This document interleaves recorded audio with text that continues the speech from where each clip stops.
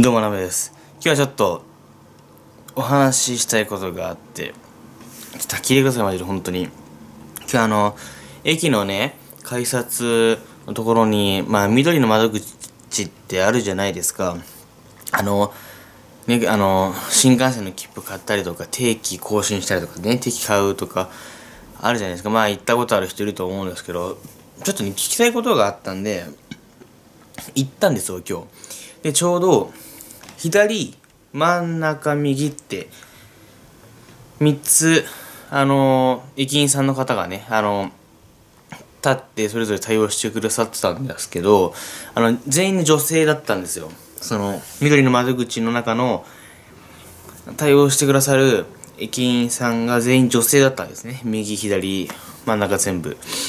で俺から見て右で右ということはあの駅員さんが見ると左かこっち側の肩のところにが開いたんで俺そこ行ったんですよ。でちょっと聞きたいことがあったのでお話ちょっと聞いたんですけどもうそしてあの話は聞いてくれたんですけどあのちょっとねあのお客に対する態度っていうかちょっとなんかそういうのがちょっとなんかね、あなんか変だなと思ったんですよ。で俺は普通に言ったんですよ。あのー、わかんないことあったんで、すいません、ちょっといいですか？はあ。これですよ、これ。はあ。これ。もう俺が全部説明し、あの、聞きたいこと説明しても、はあ、ああ、ああ、しか言わないんです、マジで、本当に。もうこれいいのかってほんとすごい思ったんですだってこっちはお客なわけですから。うんなんかそういう態度取られるとなんかねえどうなのって聞いて俺は思ったんです一瞬。だって嫌じゃないですか。普通にさ聞きたいこととかで話しかけたらさいくらさあのー、仕事してるといえどああああああああみたいな返事。寝起きかっていうぐらいそっぽ向いてました本当に。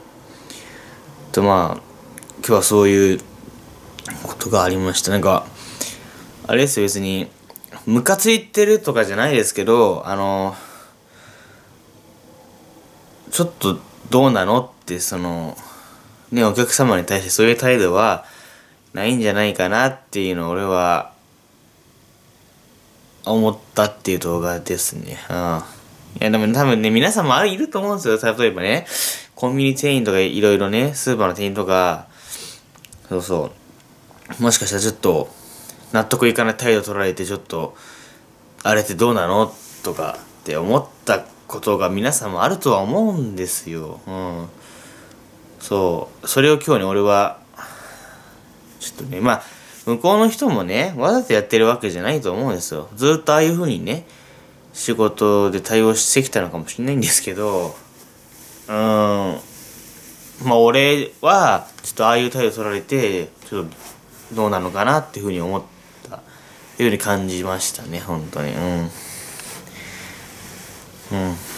まあいいね、世の中いろいろいますから、俺がこう言っても治らない、治らないっていうかね、うん。どうしようもないんですけどもちょっとこういうことがあってよっていうことをお話ししたかったんで動画にしました。今日はこれで以上です。愚痴とかじゃないですけどね。ちょっと思ったことをパッと言いたかったんで。はい。本日も見ていただいてありがとうございました。